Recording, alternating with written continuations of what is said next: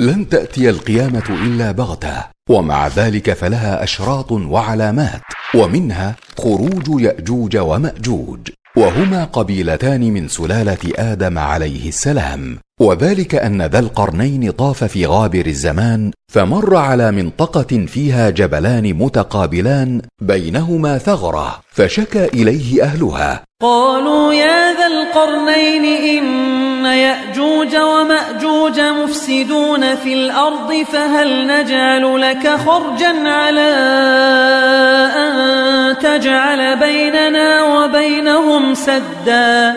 فبنى لهم سدا من حديد. وصب عليه من النحاس المذاب فمنع يأجوج ومأجوج من الخروج على الناس. فما استطاعوا أن يظهروه وما استطاعوا له نقبا. وهم يحاولون حفره للخروج.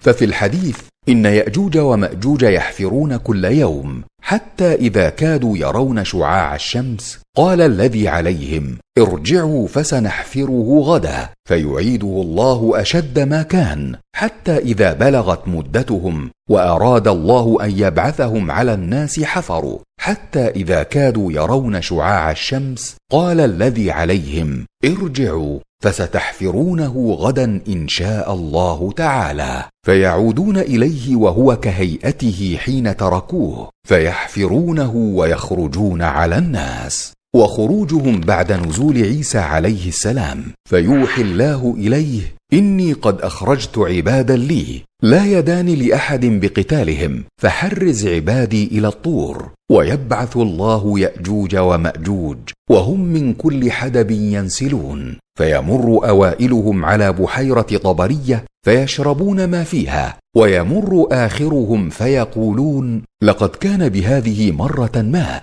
فيرغب نبي الله عيسى وأصحابه إلى الله فيرسل الله عليهم النغف في رقابهم فيصبحون فرسا كموت نفس واحدة وخروجهم إيذان بقرب الساعة. قال تعالى حتى إذا فتحت يأجوج ومأجوج وهم من كل حدب ينسلون واقترب الوعد الحق فإذا هي شاخصة أبصار الذين كفروا.